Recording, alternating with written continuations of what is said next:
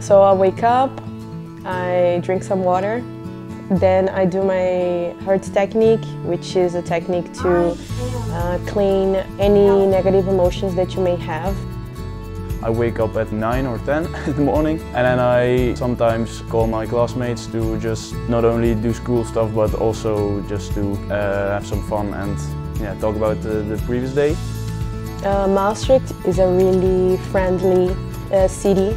You're definitely gonna find students, uh, it's so international, it's becoming so international. You're gonna find students from everywhere, uh, people who want to connect. So I'm sure that if you decide to come to Maastricht to study our international business inside, you're going to be welcome.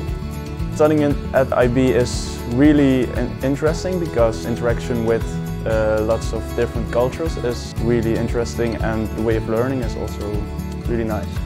You work in groups and you together you're gonna search for solutions and yeah we have a, a company and they have like a problem and you need to solve it so I was really used to studying out of a book, learning from a teacher like uh, learn this, do this. But at IB you really can do what you want on your own as long as you learn.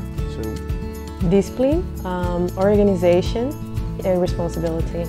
Responsibility because uh, you have one final deadline at the end of the block. So there is no teacher on you babysitting or saying like, yeah, this week you need to do this. Understand that these studies really give you the taste of all, how real life is. Uh, you're gonna make amazing friends, you're gonna have amazing experiences, the coaches are really supportive, so it's really valuable.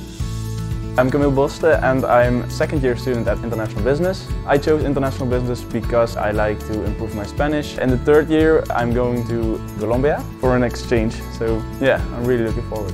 Yeah. I am Isabella Luz.